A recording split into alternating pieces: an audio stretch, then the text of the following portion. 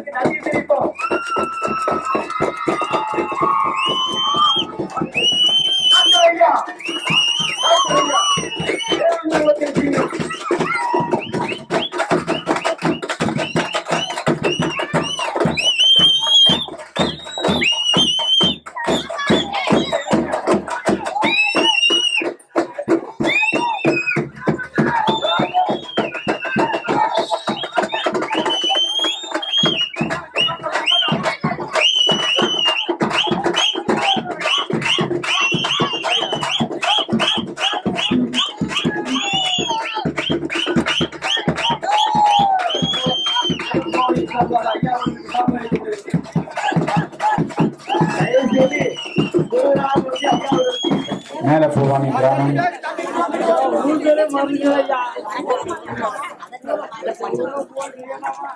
புதிய தமிழகம் கட்சியினுடைய கொடியேற்று விழா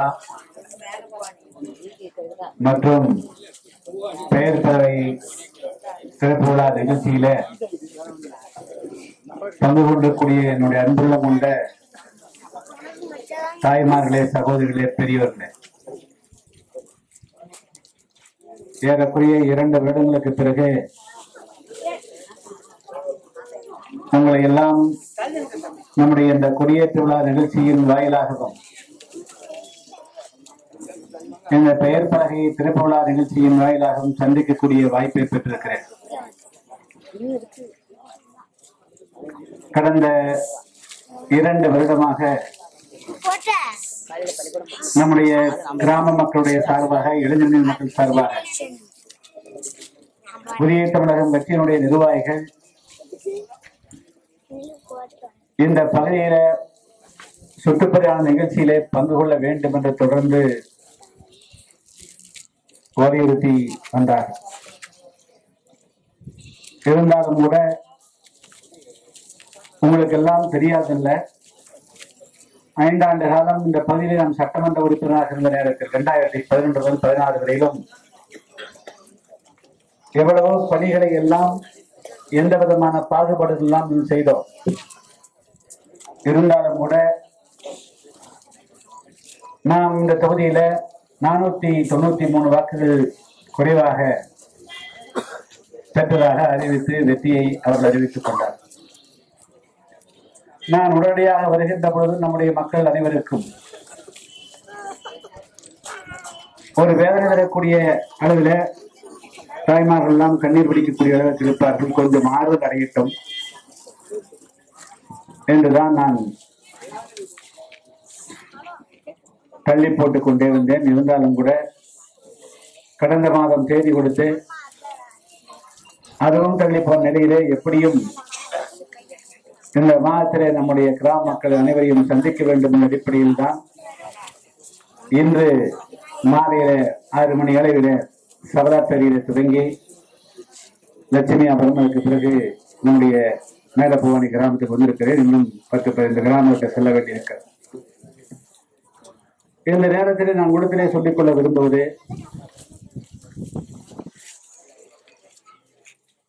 நாம் கடந்த இருபது இருபத்தி ஐந்து ஆண்டு காலமாக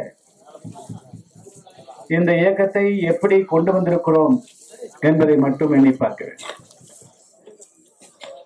அரசியல இந்த இடைப்பட்ட காலத்திலே எவ்வளவோ இயக்கங்கள் வந்தது போனது.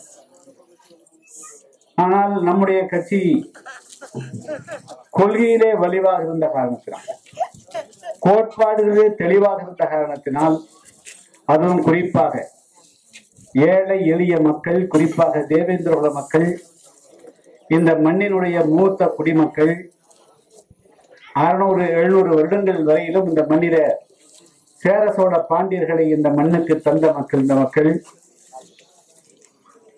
கன்னியாகுமரி தொடங்கி திருச்செங்கோடு வரையில் இருக்கக்கூடிய நிலவரங்களை எல்லாம் முழுமையாக உடமையாக வைத்திருந்த மக்கள் அந்நிய படையெடுப்புகளில் நிலங்களை இழந்தார்கள் இன்று நாம் வறுமைக்கு தள்ளப்பட்டோம். எனவே இன்று நம்முடைய மக்களை வாட்டி வருகின்ற ஏழ்மை தாழ்த்தப்பட்டவர்கள் அரிஜன்கள் ஆதிராவர்கள் எஸ்ஐக்கள் என்று பல பட்டங்களை கொடுத்து ஊருக்கு ஒருவர் இரண்டு பேர் அதிகபட்சம் ஐந்து பேர் பத்து பேர் மட்டுமே சில அரசு வேலைகளுக்கு போக முடிகிறது. ஆனால் தொண்ணூத்தி ஒன்பது பேர் இந்த இழிவு பட்டத்தை தாங்கிக் கொண்டு மட்டுமே இருக்க வேண்டிய நிலையை இருக்கிறோம். எனவேதான்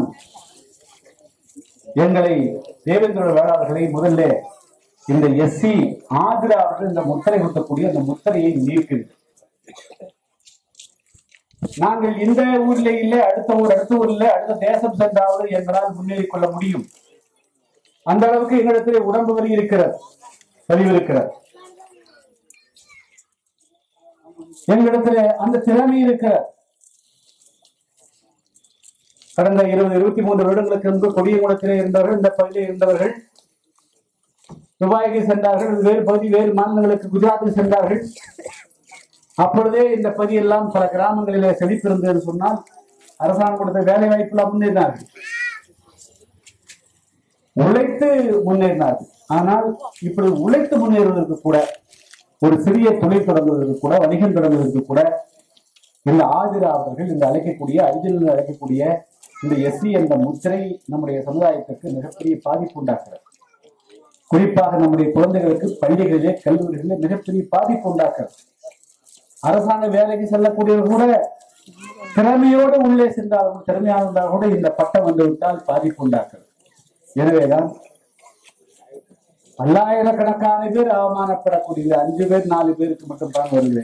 ஆனால் எங்களை பட்டியலிருந்து நீக்குங்க கடந்த ஆண்டு நான் சென்னையில மிகப்பெரிய அளவுக்கு மாநாடு நடத்தணும் அதற்கு பிறகு டெல்லி போனோம்.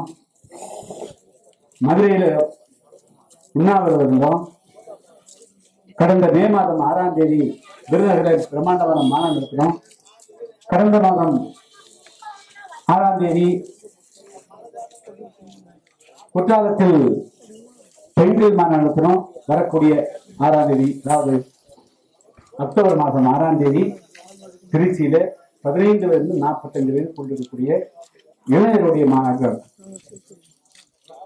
இது நம்முடைய இளைஞர்கள் மிகவும் கவனத்திலே கொள்ள வேண்டும் ஒரு இயக்கத்தை ஒரு கட்சியை உருவாக்குவது என்பது லேசான காரியம் அந்த கட்சியை உயிர்ப்போடு வைத்திருப்பது அந்த கட்சியை நாளுக்கு நாள் வலிவாக்குவது அந்த கட்சியை மேல் நோக்கி உயர்த்திக் கொண்டே போவது என்பதற்கு எவ்வளவோ கஷ்டங்கள் பட வேண்டும்.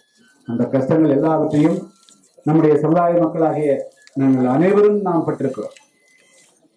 மாஞ்சோலை தேயிலை தோட்ட தொழிலாளர்களுக்காக போராடி பதினேழு உயிர்களை நாம் இழந்திருக்கிறோம். வெள்ளையரிக்காக போராடி இருக்கிறோம் எல்லா போராட்டங்களையும் நடத்தியவர்கள் நாம் தான் தலைவர் சுந்தரலிங்கத்தினுடைய பெயரை போக்குவரத்து கழகத்தில் வைக்க வேண்டும் என்ற அடையாளத்திற்காக போராடி இருக்கிறோம் இப்பொழுது தனித்தனியாக நாங்கள் போராடவில்லை. ஒட்டுமொத்தமாக எங்களை பள்ளம் என்று அழைக்காதே குடும்பம் என்று அழைக்காதே எங்களை தேவேந்திர குல வேளாளர் என்று அடையாளப்படுத்து என்று ஒரு ஒற்றை வரியில் அடையாளப்படுத்தி நான் இப்ப சொல்றேன். நம்முடைய மக்கள் எஸ்ஐ வெளியே வந்து விட்டால் அடுத்த பத்தாண்டு காலத்தில் இங்க இருக்கக்கூடிய இளைஞர்கள் எங்காவது போய் ஏதாவது தொழில் செய்து முன்னேறி விடுவார். இவர்கள் குழந்தைகள் இருபது இருபத்தி ஐந்து வருடங்கள் கழித்து தமிழ்நாட்டில பெயர் சொல்லக்கூடிய அளவுக்கு எல்லா துறைகளிலேயும் முன்னேறி விடுவார். ஆனால் இவர்களுக்கு இந்த எஸ்சி என்ற பட்டம் மிகப்பெரிய தாழ்வை உருவாக்குறது எஸ்சியா இருந்தா முன்னேறலாம் மாறா எஸ்சியா இருந்தா முன்னேற முடியாதுங்கிற நிலைமை உருவாயிருக்கு. எனவேதான் நான் அந்த கோரிக்கையில மிக வலிவாக நின்று தேவேந்திரோட வேளாளர்கள் என்று என்னுடைய மக்களை அழைக்கிறதுக்கு அரசாணை பிறப்பிக்க வேண்டும் பட்டியலில் இருந்து இதர பிற்பட்டோர் பட்டியலை சேர்த்திட வேண்டும் என்ற கோரிக்கையை விட்டு தொடர்ந்து போராடி கொண்டிருக்கிறோம். மேலும் வந்து நம்முடைய கட்சி தான் நான் சட்டமன்றத்தில் ஐந்து வருடம் இப்போது இருந்த போதும் சரி கடந்த முறை இருந்த போதும் சரி நமக்காக எத்தனை முறை நான் சட்டமன்றத்தில் பேசி விடுகிற பேசியிருக்கிறேன் இப்பொழுது யாராவது ஒருவர் இந்த சமுதாயத்துக்கு பேசுவதற்கு யாராவது இருக்கிறாங்க எனவே நாம் நம்முடைய கட்சி இன்னும் வலுப்படுத்தணும். தமிழ்நாடெங்கும் இருக்கக்கூடிய தேவேந்திர உலகாளர்களை ஒருங்கிணைக்கணும். ஒரே குடியில் ஒருங்கிணைக்கணும். நான் இளைஞர்களுக்கு சொல்லிக்கொள்ள விரும்புகிறேன். எந்த காரணத்தை கொண்டும் உங்களுடைய ஒற்றுமைகள் சிதறக்கூடாது. உங்களுடைய ஓட்டுகளை வாங்குவதற்கு எத்தனையோ கட்சிகள் வரும். ஆனால் உங்களுடைய உரிமைகளை பற்றி பேசுவதற்கு ஒருத்தர் கூட வர மாட்டார்கள் அதுதான் கடந்த ஐந்து ஆண்டு காலமாக சட்டமன்றத்தில் நடக்கிறது நாடாளுமன்றத்தில் நமக்காக பேசுவதற்கு யாராவது இருக்கிறாங்களா எந்த ஒரு சமுதாயம் முன்னேற வேண்டும் என்று சொன்னால் அவர்களுடைய குரல் சட்டமன்றம் நாடாளுமன்றம் ஒலிக்க வேண்டும். எனவே வரக்கூடிய இரண்டாயிரத்தி பத்தொன்பது நாடாளுமன்ற தேர்தல் அது அதோடு ஒட்டி சட்டமன்ற தேர்தல் வந்தாலும் அதுக்கு பின்னால் வந்தாலும் சரி கடந்த காலங்களிலே எல்லா காலகட்டத்திலும் மேல போவாரி மக்கள் கீழே போவாரி மக்கள் நிச்சயமர மக்கள் குடியரசு மக்கள் காசிலி அனைவருமே இந்த பகுதியில மிகவும் கட்டுக்கோப்போடு நின்று அனைவருமே ஒட்டுமொத்தமாக நாம் புதிய தமிழகம் கட்சியாகத்தான் இருந்திருக்கிறோம்.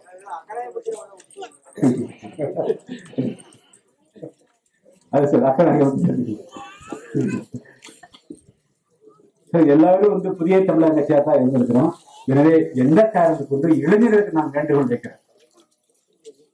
நீங்க ஏதாவது இன்னொன்னு கொண்டு வந்தீங்க அப்படின்னா நம்ம சமுதாயத்துல பிளவு வந்துச்சுன்னா அப்புறம் கஷ்டம். உங்களை எங்க போனாலும் சரி நீங்க எது திருநெல்வேலி போற தூத்துக்குடி போற ஒரு சின்ன பிரச்சனை வருது. ஒரு இப்ப உனக்கு பாதுகாப்பு யாரு கொடுப்பாங்க? வெறும் ஜாதின்னு சொன்னா மட்டும் ஜாதி ரேட்டு. உனக்கு யார் ஓடி வருவாங்க? கட்சின்னு சொன்னா உடனடியே ஒன்றிய செயலர் வருவார். மாவட்ட செயலாளர் வருவார். அவங்க முடியல மாநில செயலாளர் வருவாங்க எனவே வந்து நீங்க அனைவருமே உங்களை எங்க போனாலும் கட்சியோடு உங்களை வந்து ஒருங்கிணைச்சு. கட்சி காடு பாக்கெட்ல வைங்க. தவறு பண்ணாதீங்க குடிக்காதீங்க. தவறான காரியங்கள் போனா உழைக்கணும். நம்முடைய சொந்த முயற்சியில் நாம் முன்னேறி வர வேண்டும் என்ற உணர்வு ஒன்று நாம் இருக்கணும் அதுக்கு வந்து எப்பொழுதும் நம்ம கட்சி துணையா இருக்கும். நாம் ஏன் ஆட்சிக்கு வர வேண்டும் என்று சொல்கிறோம் நம்முடைய குரல் சட்டமன்றத்திலே ஒழித்த காலம் எல்லாம் போச்சு. இப்ப அது மட்டும் அதை தாண்டி மேல போகும் நாமே வந்து நமக்கு தேவையானதை உத்தரவிடக்கூடிய இடத்துல நாம் அமரணும். அதுதான் அடுத்த கட்டம். அதுதான் கடந்த காலங்களில் சேர சோழ பண்டிகா இருந்தோம் என்று சொன்னா மட்டும் போட்டா நாம் அன்னைக்கு ஆட்சி செஞ்சோம். இன்னைக்கு நாம் வெறும் ஓட்டு போடப்பட இருக்கிறோம். அதை மாற்றி ஆட்சிக்கு வரக்கூடியவர்களாக மாற வேண்டும். அதற்காக நம்முடைய மேலப்போவாணி தேவேந்திர மக்கள் அனைவரும் புதிய தமிழக கட்சியை வலுப்படுத்த வேண்டும் என்று கேட்டுக்கொண்டு வரக்கூடிய அக்டோபர் மாதம் ஆறாம் தேதி திருச்சியில இளைஞரணி மாநாடு நடைபெற இருக்கிறது. பதினைந்திலிருந்து நாற்பத்தைந்து வயதுக்குட்பட்ட இளைஞர்கள் அவசியம் இந்த மாநாட்டில் திரளாக கலந்து கொள்ள வேண்டும். அதே போல மகளிர் அணியை இங்கு வந்து வலுப்படுத்தணும். அதே போல இந்த கிளையும் வலுப்படுத்தணும். கட்சி ஒன்றுதான் எல்லா காலகட்டங்களிலும் உங்களுடைய மதிப்பை உயர்த்தக்கூடியது. உங்களுக்கு பாதுகாப்பு அளிக்கக்கூடிய உங்களுக்காக போராடக்கூடிய என்று கட்சியை வலுப்படுத்துங்கள் கேட்டுக்கொண்டு என்றும் உங்களுக்காக இருப்பேன் மீண்டும் அடிக்கடி மேல பகுதிகள் என்று கூறி